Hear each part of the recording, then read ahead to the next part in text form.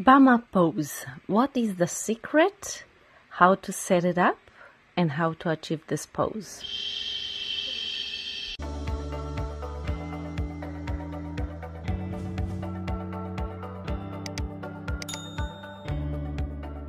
Hey everyone, I'm uh, setting up for today's baby and I would like you to show you how I set up for bum up pose.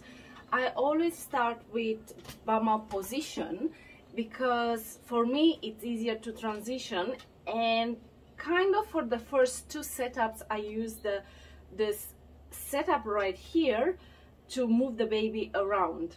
I always start with the bum up pose and I always start with using three pillows. The first two, the big one and a little one, I put it at the baby's head, right here, where usually if I need another pillow, I can lift it up. So I can put my hand underneath and lift this pillow up more higher and replace this pillow if I need to. Then I put one more pillow at the baby's bottom. Why? Uh, it's mainly because this is pushing the tushy up, up, and the leg up. So that's where we get the baby's curve. I use these three pillows and I start with uh, bum up pose first because once that I've done the bum up pose, I unravel the legs, I move this pillow a bit more higher and I do the side laying pose. So for me goes bum up pose, side laying pose. And then if I want to do another pose, which usually I don't do more than two poses on the beanbag because I have other varieties to do props and parents, um, or depending if the baby is unsettled, I can do more poses. Keeping the pillows as they are, I can turn the back, baby on the back and put a wrap around the baby and do the womb pose in here. Then at the last, last one, I will move around the pillows in front and I will do the chin on hands. But for me, if I want to do the chin on hands, I always start with the pillows in front. Um, because it's a pose which we can, um, we need a little bit more on it. But today I'm talking about bum up pose, so pretty much that's where I keep my pillows.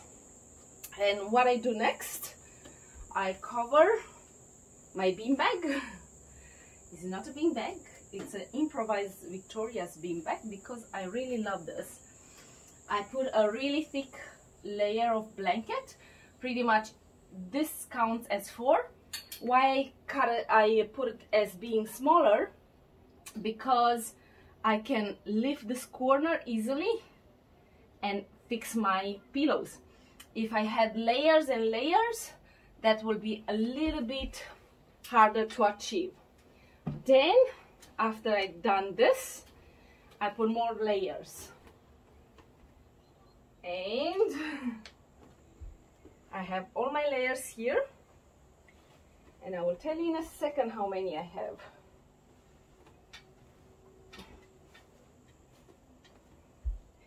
Let's count them. I have one, two, three. I have a pee pad, four, five layers for I have five layers and in between layers I'll have a pad depending how many layer how many poses I do.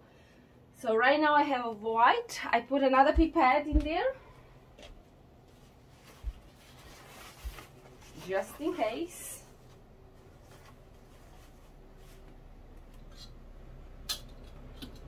And then the final layer. And this is my layer where I pose on now I will see.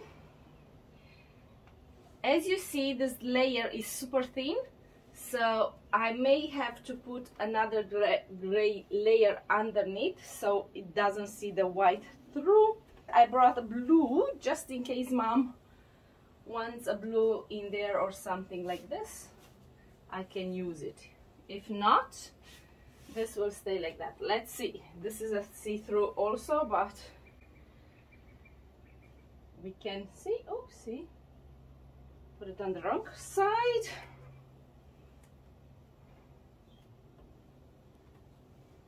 Ah, it's perfect. All right, so the only thing what it's left is to use clamps.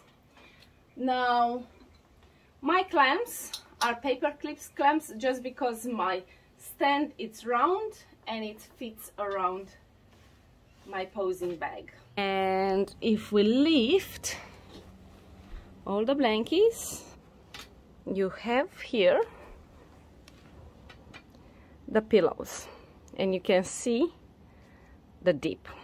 That's what you want. As soon as I finish, I make sure that everything is straight and I don't have any creases in the blanket. That will make your uh, job easier, pretty much. You see that crease? I don't want it there. So we stretch it out. We stretch it out and we clamp it around to make sure that everything is tight. So this is the Bum Up Pose setup, beanbag setup, and I will show you some behind the scenes of the Bum Up Pose.